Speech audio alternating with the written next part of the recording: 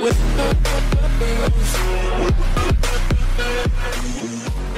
right, so we got the Yamaha frame. We got it all mocked up uh, to put the 125 motor in. Got the welder out.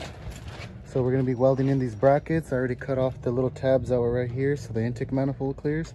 This is the bottom of the frame right now. I already mounted the motor.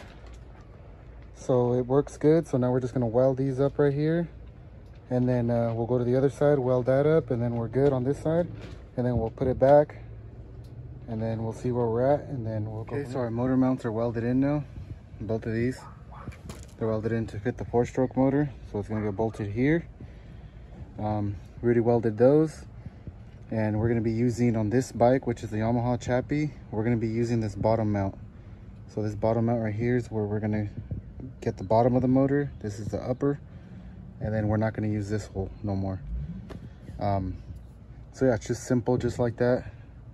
We use these little L kind of boxed them boxed it in a little bit right here and then welded the insides. This is plenty strong and it's welded in the inside as well.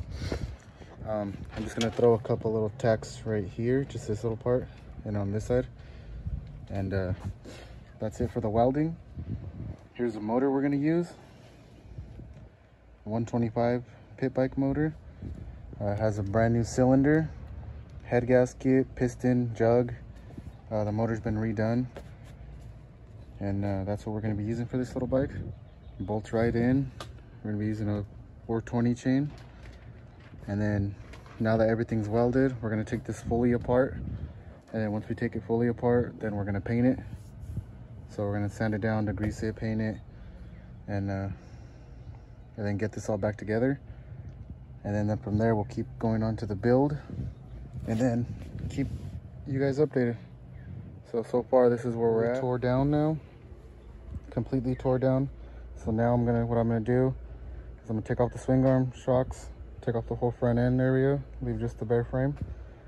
And then we can start stripping the frame, painting it, and then then mounting everything back up, get some new tires, take the wheels off, rims, paint them, new shocks, new bushings, uh, redo everything, and then from there we'll keep building building building until this whole bike's done. So yeah follow along stay tuned for this little mini bike build. And uh, yeah thanks you guys for watching. Okay you guys so i just wanted to show you where we're at on this build right now. So right now on this build uh, we did all the fabrication that we need. It is now four stroke ready so now it's able to have a four stroke in it uh, bigger motor so now we could run a pit bike motor in this so we don't have to worry about the other motor no more um, it's all ready now. Now we just got to tear it down, but this was part one. So now we got to re-tear it down, take off the swing arm, everything. I already made sure the chain aligns, all that stuff. Um, we're gonna take everything back off, then we'll start getting it ready for prep for paint, and then, you know, we'll continue on with the build. This over here is all the stuff we stripped off of it. So the fender, the rear, we might put this back on, this little rack. Uh, might re-get this done in, not chrome, but something else. Uh, there's that stock two-stroke motor, the one that it came with. There's all the harness for it. We're gonna use the gas tank. There's the old chain, old harness, old everything. The injection system thing, how they use the pre-mix, I mean the mix in one and then the gas in the other. Getting rid of all that. So this here. And uh, I kept a couple things on here, like I had to remove, there was a little tab plate right here so where the motor sits, the head sits right here and the intake manifold is gonna come up, come right here with the air filter and everything. So I need that spot clear. So as you can see, I grinded it right here on both sides. Took off that plate. We got our mounts done, everything done here. And uh, we gotta figure out a little light for this. We're gonna cut these off and put something else. And uh, yeah, let me know what you guys think or what ideas you guys got. Or what should we do? Um, also too, I'm undecisive on a color. So let me know what color I should do this one. And I'm also planning on, I don't know, maybe doing something with this bike, maybe giving it away.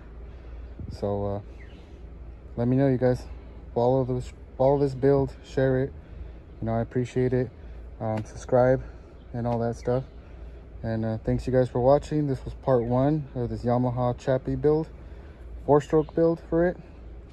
And uh, thank you guys.